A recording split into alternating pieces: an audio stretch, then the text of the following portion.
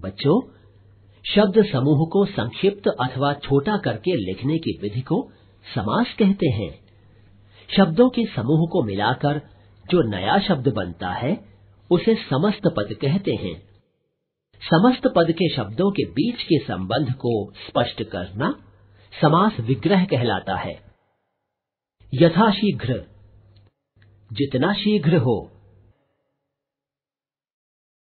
बच्चों समास छह प्रकार के होते हैं। एक, अव्ययी भाव समास। दो, तत्पुरुष समास। तीन, द्वंद्व समास। चार, बहुब्रीहि समास। पाँच, द्विगु समास। छह, कर्मधारय समास। एक, अव्ययी भाव समास। बच्चों, अव्यय का अर्थ है व्यय न होना।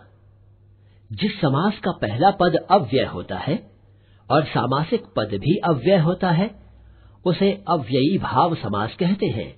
आओ कुछ उदाहरणों के द्वारा अव्ययी भाव समास को समझें। सामासिक पद समास विग्रह प्रतिदिन हर दिन आजीवन जीवन भर निर्भय बिना भय के प्रत्येक हर एक प्रतिमाह हर माह आमरण मरने तक। प्रतिपल। हर पल। यथास्थान। जहाँ जिसका स्थान है। भरपेट। पेट भरकर।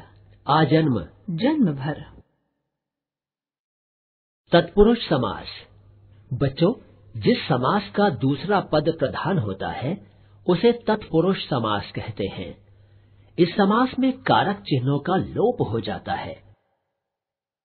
आओ कुछ उदाहरणों के द्वारा तत्पुरुष समास को समझें। सामासिक पद समास विग्रह कारक जिसका लोप हुआ। स्वर्ग प्राप्त। अर्थात स्वर्ग को प्राप्त। कर्म तत्पुरुष।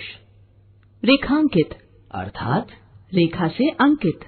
करण तत्पुरुष। धर्मशाला। अर्थात धर्म के लिए शाला। संप्रदान तत्पुरुष। पदमुक्त। अर्थात पद से मुक्त अपादान तत्पुरुष। पवन पुत्र अर्थात पवन का पुत्र। संबंध तत्पुरुष। आनंद मग्न। अर्थात आनंद में मग्न अधिकरण तत्पुरुष। तीन द्वंद्व समास। बच्चों जिस समास के दोनों पदों का महत्व समान हो उसे द्वंद्व समास कहते हैं। इसमें समास विग्रह करने पर दोनों पदों के बीच में और अथवा या योजक शब्द लगते हैं। आओ कुछ उदाहरणों के द्वारा हम द्वंद्व समास को समझें। सामासिक पद। समास विग्रह। अपना पराया। अपना या पराया। पाप पुण्य। पाप और पुण्य। खरा खोटा। खरा और खोटा। यश अपयश। यश और अपयश। सुख दुख। सुख और दुख। ऊपर नीचे। ऊपर या नीचे। लाभ हानि। लाभ और हानि। पाप पुण्य। पाप और पुण्य।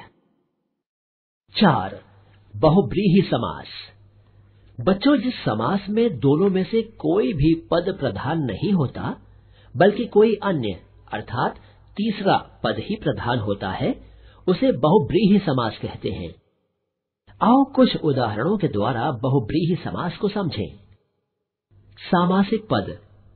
समास विग्रह। नीलकंठ। नीला है कंठ जिसका अर्थात शिव। वीणा पाणे। वीणा है पाणे हाथ में जिसके अर्थात सरस्वती। दशानन। दस है आनंद जिसके अर्थात रावण। चतुर्भुज। चार है भुजाएँ जिसकी अर्थात विष्णु। पीताम्बर पीला है अंबर जिसका अर्थात श्री कृष्ण चक्रधर। चक्र को धारण किया जिसने अर्थात विष्णु। पाँच द्विगु समास। बच्चों जिस समास में पहला पद संख्यावाची होता है और विग्रह करने पर समूह या समाहार शब्द का प्रयोग होता है वह द्विगु समास कहलाता है। आओ अब कुछ उदाहरणों के द्वारा द्विगु समास को समझें। सामासिक पद। समास विग्रह। चौराहा। चार राहों का समूह। शताब्दी। सात अब्दों का समूह। चतुर्भुज। चार भुजाओं का समूह। त्रिफला। तीन फलों का मेल। त्रिभुज। तीन भुजाओं से बना। छह। कर्मधारय समास। बच्चों कर्मधारय समास के दोनों पदों में उपमेय उपमान या विशेषण विशेष्य का संबंध होता है। जिसका वर्णन किया जाए उसे उपमान कहते हैं। तथा जिससे समानता बताई जाए उसे उपमेय कहते हैं। आओ कुछ उदाहरणों के द्वारा कर्मधारय समास को समझें। सामासिक पद। समास विग्रह। प्रधानमंत्री। अर्थात? प्रधान है जो मंत्री। विशेषण विशेष्य। क्रोधाग्नि। अर्थात? क्रोध रूपी अग्नि। विशेषण विशेष्य। नील गगन अर्थात? नीला है जो गगन। विशेषण विशेष्य।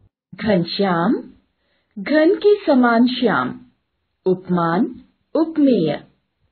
चंद्रमुख, चंद्र के समान मुख, उपमान, उपमेय।